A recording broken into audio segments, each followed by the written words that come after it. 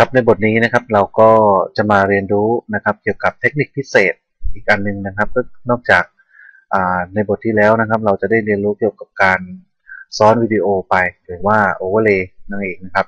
อันนี้ในบทนี้นะครับเราจะมาเรียนรู้เกี่ยวกับการทำให้ตัววิดีโอที่ซ้อนอยู่เนี่ยนะครับ สามารถที่จะเคลื่อนไหวได้เคลื่อนที่ไปในทิศทางต่างๆ ที่เราต้องการได้นะครับครับเรามาเริ่มกันเลยครับผมก็จะนำวิดีโอ V11 นะครับ เข้ามาเป็นวิดีโอ background ครับมามาวางไว้ที่ตัววิดีโอ track นะครับ ผมปรับมุมมองนิดนึงครับซูมเข้าไปครับจากนั้นครับผมก็จะนำวิดีโอนะครับ ที่จะมาเป็นวิดีโอ overlay นะครับมาหนึ่งตัว สมมติในที่นี้นะครับผมเอา V14 มานะครับก็วางจัดชิดไปครับ แล้วก็จัดให้เท่ากันนะครับ ปรับคลิปวิดีโอให้เท่ากัน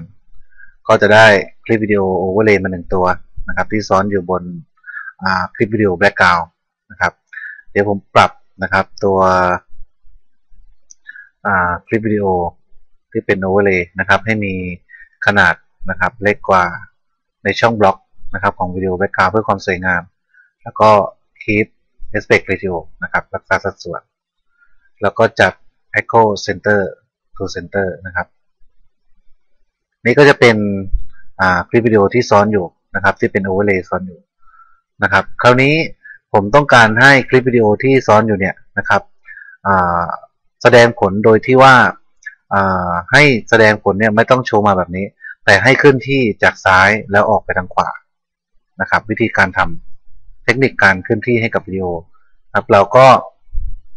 คลิกเลือกนะครับที่คลิปวิดีโอ เสร็จแล้วก็เปิดออปชันขึ้นมานะครับครับจากนั้นนะครับเราก็มาดูในส่วนของ direction style นะครับ direction and style นะครับ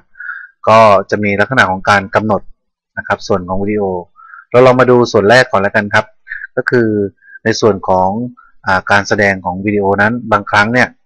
พอมันแสดงคลิปวิดีโอไปเนี่ยนะครับ เราจะเห็นว่าตอนที่มันเกิดคลิปวิดีโอขึ้นมาเนี่ยนะครับ มันก็เกิดแบบโชว์ขึ้นมาวับเลยนะครับ ถ้าเราต้องการให้มันเกิดขึ้นมา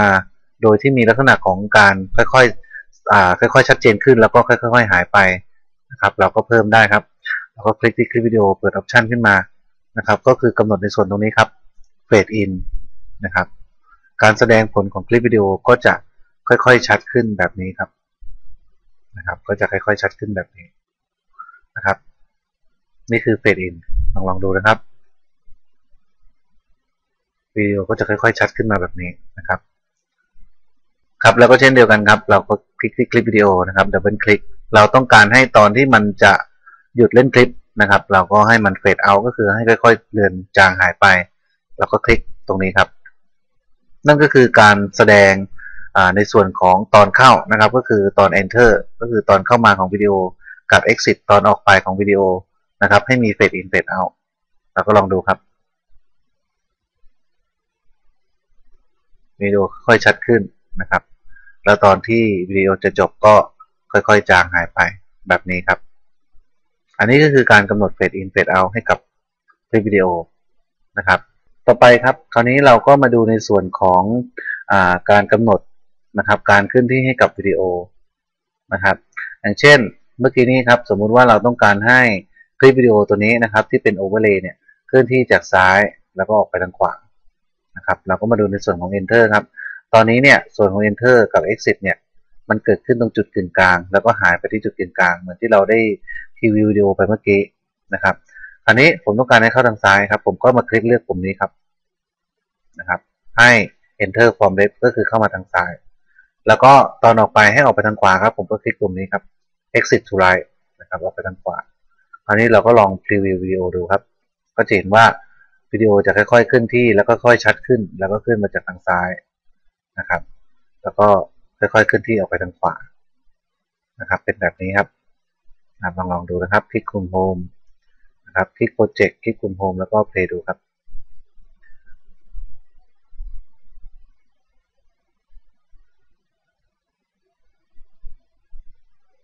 ครับนี่คือลักษณะของอาการทำการเคลื่อนที่ให้กับคลิปวิดีโอ ซึ่งเราก็สามารถนำไปประยุกต์ใช้ได้นะครับ เมื่อกี้นี้นอกจากที่เราจะเพิ่มเฟดอินเฟดเอาท์นะครับ ในระหว่างที่เข้ามานะครับ เราอาจจะเพิ่มเทคนิคพิเศษอีกตัวนึงครับ ก็คือตัวนี้ครับ rotate นะครับคลิกปุ๊บนะครับ rotate ตอนที่เคลื่อนที่เข้ามาทางซ้าย แล้วก็ตอนออกไปก็ให้ rotate ด้วย ก็คือการให้ภาพมันหมุนนั่นเองนะครับ ก็จะเป็นลักษณะแบบนี้ครับ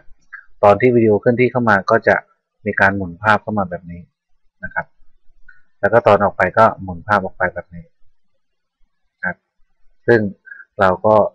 าสามารถนำมาประยุกต์ใช้งานได้ครับ ลอง test ดูครับ คลิกที่ Project คลิกปุ่ม Home แล้วก็ play ดูนะครับนะครับวิดีโอก็จะแสดงเข้ามาแบบนี้ ก็เป็นเทคนิคนะครับที่เราสามารถนำไปใช้เพิ่มเติมได้นะครับ ไม่ว่าจะเป็นาการกำหนดเฟดอินเฟดเอาธรรมดานะครับก็สามารถที่จะไปประยุกต์ใช้นะครับให้กับางานวิดีโอของเราได้ ซึ่งจะทำให้วิดีโอของเราเนี่ยดูเป็นมืออาชีพแล้วก็น่าสนใจมากขึ้นนะครับ